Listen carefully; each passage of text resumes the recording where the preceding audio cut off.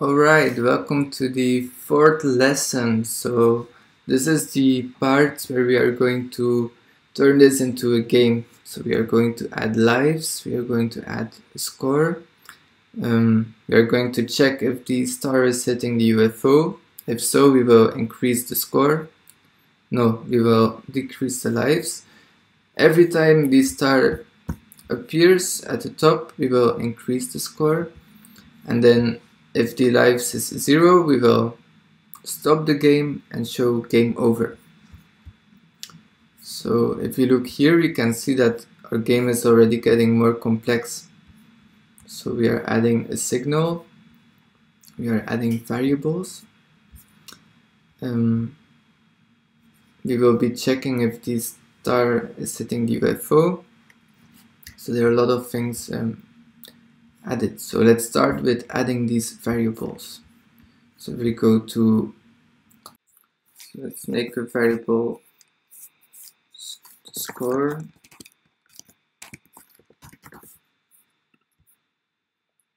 and let's make a variable remaining lives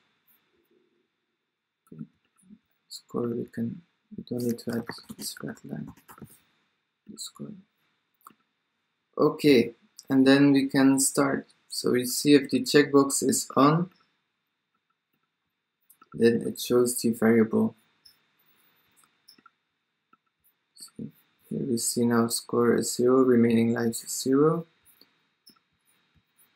but we need to add that when the game starts lives is set to 3 and score is set to 0 so we will do that. On the background event. When the game starts ah we already have that event. We will set variable set score to 0 and set remaining lives to 3 so if we try this you can see it works. So now what we need to add is that we need to set the background to space theme so looks switch background backdrop to space. That is because when we change in the end to the background of game over the next time we play the game we want it again to be space. So that's the only reason. And then here I think for this step yeah that's all we have to do. The signal we will leave for the last part of this video and then for UFO, we will keep checking if we hit the star sprite. So we go to UFO when the game starts. So when the arrow is clicked, we keep checking. So we do forever because we want the code that we put inside, we want to keep it running. Else it would only check one time and then it would stop. So at sensing, you can see touching. So are we touching star? We'll do that in an if. If touching star, then what do we have to do? Decrease lives. So we go to variables, change remaining remaining lives with minus one, and then check if the game is over. So we do if go to operators smaller than, go to the variables remaining lives. If the remaining lives are smaller than 1, then we will send a event, send a signal, sorry, we send a signal, we broadcast it that the game is over. And so we have created then this signal and then we also need to stop the script because once the game is over we don't want to keep checking if it's touching a star. It's not relevant anymore. It's only taking up computing power. So we go to control and we say stop this script and stop running. And then this part I will do at the end. And then for the star we will when it's every time the the star is positioned at the top, we will increase the score. So we go to star and we will set variables, change, so I still have it here. So we go to the score and we set variables, change remaining lives by one. We will put it after this one second and the reason is that at background we are already setting the score to zero. And at the same time at start when the game starts we set it to you would change it by one. And the, it could be that the program gets confused like what do I have to do first?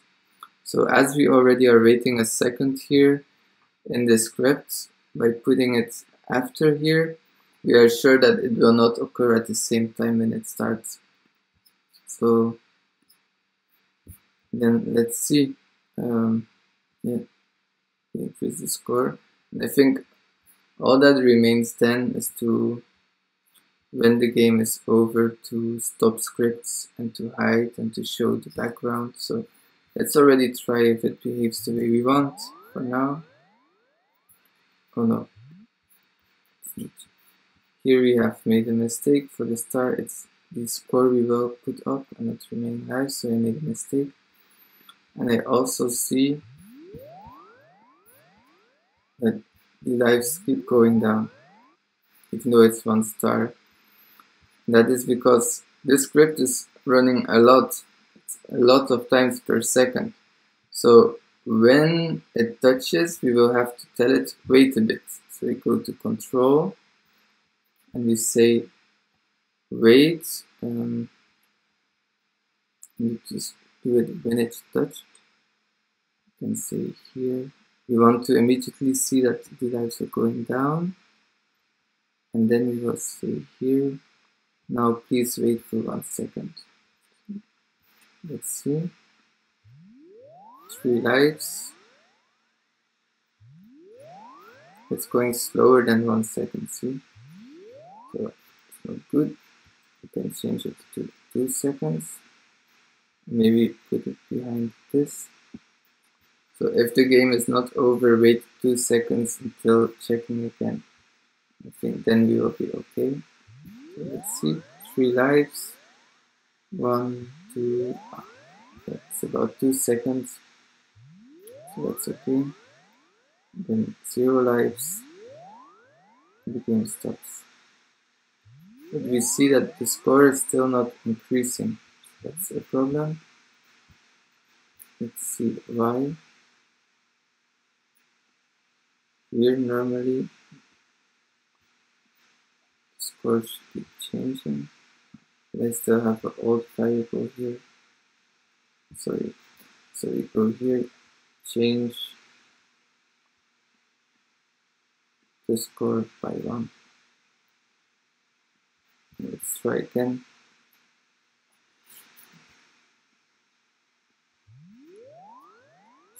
One, two, two, minus one, three, minus zero. Then you see the game keeps running and that's because now we need to respond to the signal that the game is over. We want to hide everything. We want to stop the star from falling. We want to hide it. So what we do here at start, we add a event. When I receive game over, I want to stop all the scripts in the sprites and I want to also I want to hide. So let's check if this works.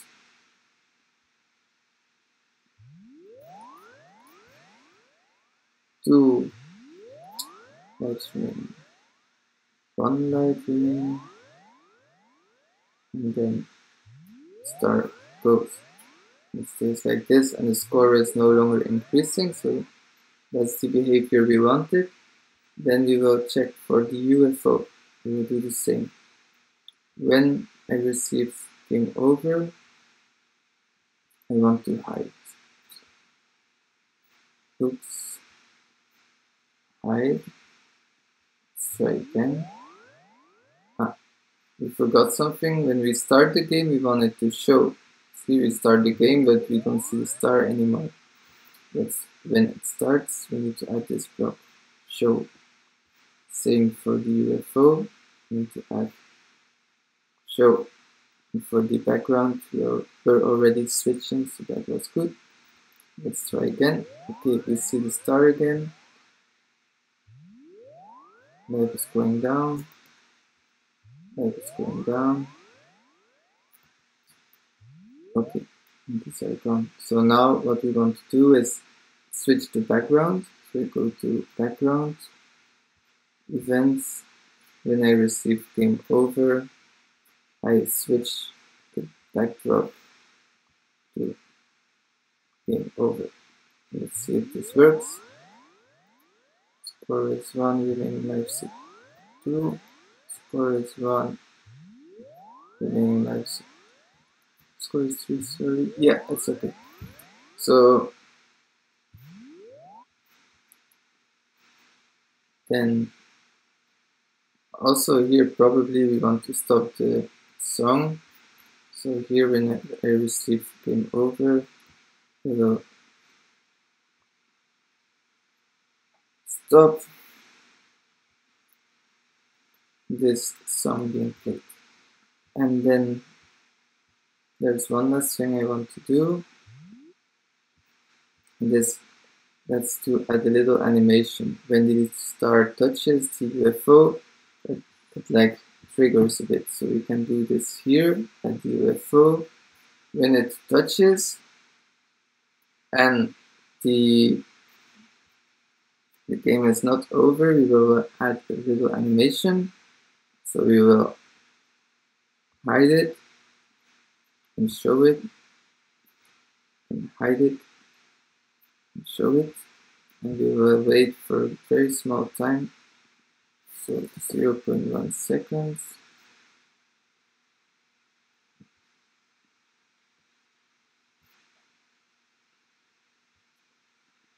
Need to be careful. I was overwriting things here. So 0 0.1 seconds.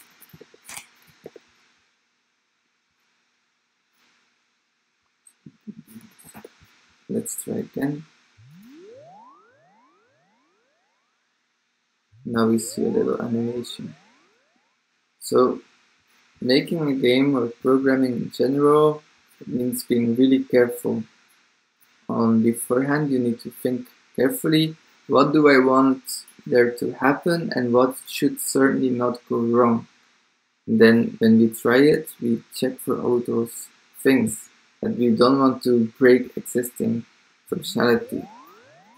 So see, lives go down, score goes up, that's good. Still working. Still working. So we're happy. And for now, our game is finished. Actually, it works with the arrows the way we want to. The next part is going to be how can we control it through artificial intelligence.